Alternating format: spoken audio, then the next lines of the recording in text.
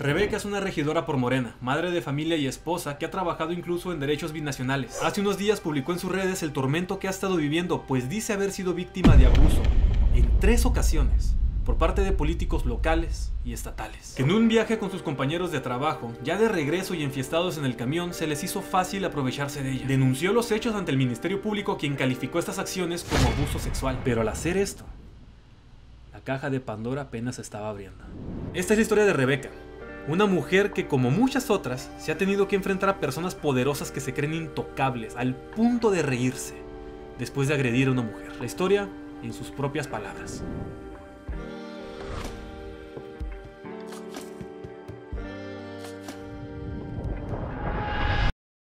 Hoy quiero compartirles algo muy difícil y me cuesta. Tengo el estómago hecho nudo de nervios mientras escribo, pero he visto muchas mujeres reunir valor para hablar de esto que a mí también me hicieron. Antes de hacerlo quiero reconocer a todas esas mujeres valientes que me inspiraron. Yo, Rebecca Ching, fui víctima de un triple abuso.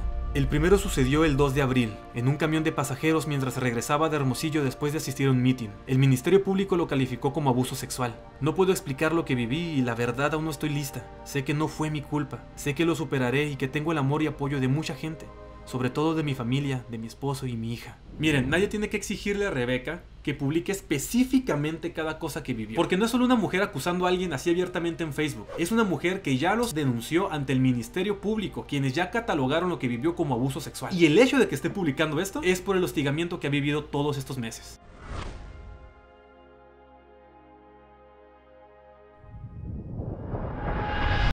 El segundo abuso lo sufrí a manos de los mismos funcionarios estatales que organizaron ese viaje y también de funcionarios municipales quienes además me difamaron de manera pública, de lo cual tengo todas las pruebas que los involucra a todos ellos. Pero lo que es peor es que entre todos me violentaron públicamente al ventilar este tema que yo quería mantener en privado. Se burlaron, me dijeron que merecía lo que me había pasado, que habría que celebrarle a mi atacante con una carne asada lo que me había hecho y que me deberían volver a subir al camión pasajero para que me lo volvieran a hacer.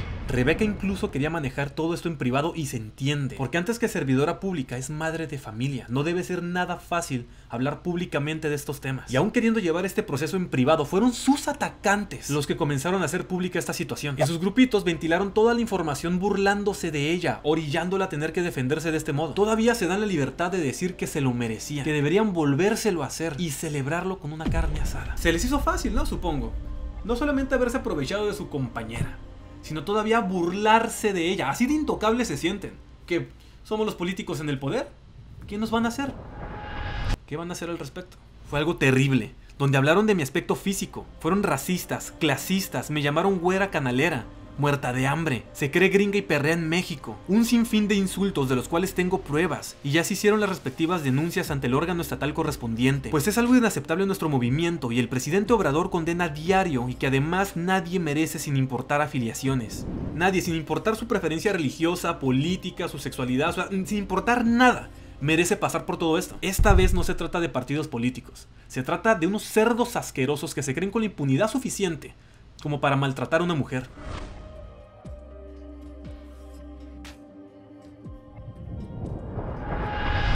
El tercer abuso lo sufrí por parte de las autoridades municipales de San Luis Río Colorado con su silencio, ignorando mi caso. Aún no se han sentado a hablar conmigo del tema. Lo redujeron a chismes de viejas y permitieron que se construyera una terrible campaña de violencia política hacia mí como regidora morenista que involucra a funcionarios municipales. Esto en venganza por haber denunciado lo que me hicieron. El pasado viernes en Cabildo todos fueron testigos de una de esas acciones a las que me refiero, además del silencio cómplice de diputados y de todos mis compañeros, quienes se limitaron a decir que me apoyaban pero no tuvieron el el valor de exigir respuestas ante este acto vil. Como siempre, políticos sin huevos. Aquí en lo privado te voy a decir que te apoyo, pero en público. Yo no quiero hacer enojar a mi patrón, lo que me importa es el hueso. Justo cuando se necesita un buen par de huevos, demuestran que una mujer tiene más que ustedes, cabrón. Porque miren, vamos siendo claros. Cuando alguien está siendo atacado, no se puede ser neutral. Si eliges no hacer nada, estás eligiendo el bando del atacante. Y ustedes lo hicieron. No rompieron el pacto. Y qué pinche vergüenza. Hoy, al escuchar a nuestro presidente López Obrador defender a su hijo ante las burlas de gente sin escrúpulos, me di cuenta de que callar no es una opción. Se han inmiscuido en nuestro proyecto gente sin valores, sin principios, además de líderes que no creen en los principios de nuestro partido. Eso debe cambiar, pero solo si denunciamos ante la opinión pública, donde estén obligados a dar la cara, porque ya han pasado varios meses y las cosas siguen empeorando, siguen actuando en mi contra. Es por eso que hoy reuní el valor para hablar. Meses han pasado. Esto no es reciente. Han estado hostigando a esta mujer hasta hacerla reventar en días pasados. Imagínate vivir durante meses todo esto tú solo sin poder hablar.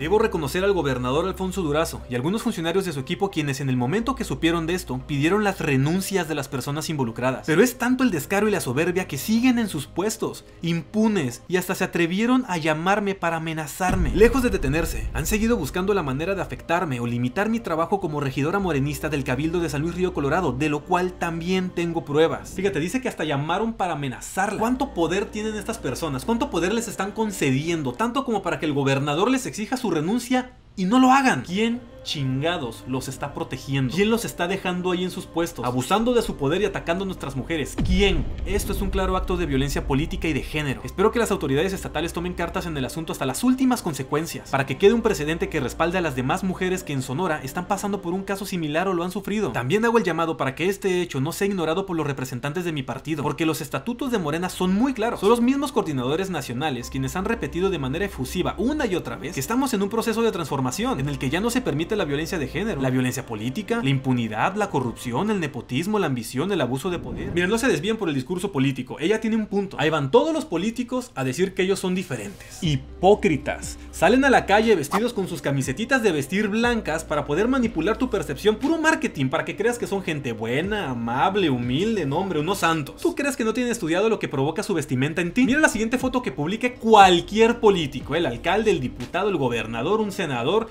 quien sea, va a salir con su camisetita blanca a pregonar pura santidad. Esa camisetita blanca que ya me tiene hasta los huevos. Porque esa misma camisetita blanca que usan para manipular tu percepción, se la quitan para chingarte, para aprovecharse de su poder. ¿Qué estatutos del partido ni qué la chingada? Son unos cerdos asquerosos. Y el mono, aunque se vista de seda, aunque se vista de camisetita blanca, mono se queda.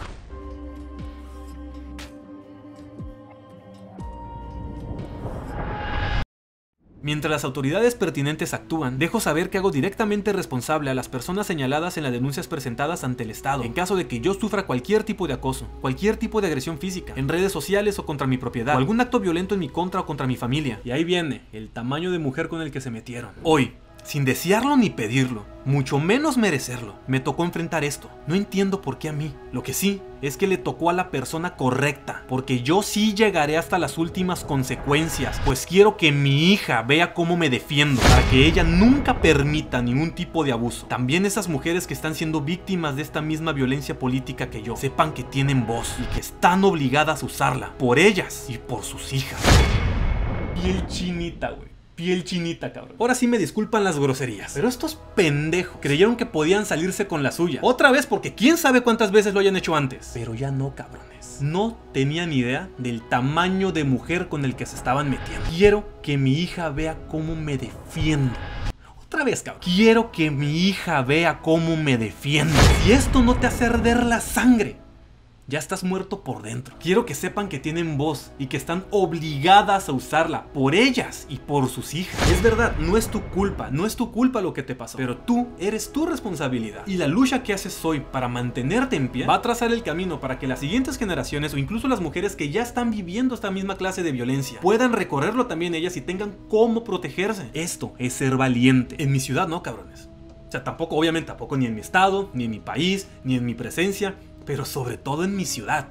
Aquí no hay cabida para unos pinches abusadores ni para sus cómplices. Porque no solamente quien cometió el acto, es quienes lo encubrieron, quienes guardaron silencio, quienes aún hoy los están protegiendo.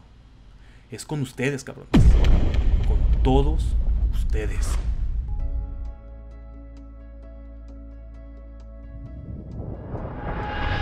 Que se haga justicia por Rebeca y por todas las mujeres que han vivido, viven o vivirán esta clase de situaciones. Estamos hartos. La tranquilidad de San Luis está pendiendo de un hilo en estos momentos porque vamos a acompañar a Rebeca hasta donde tope. Vamos a estar ahí en primera fila, a donde tengamos que ir, con lo que tengamos que hacer para que esto no quede impune, al contrario, para que haya un castigo, un precedente. En primera fila hasta las últimas consecuencias. Para que la hija de Rebeca vea cómo mamá se defiende.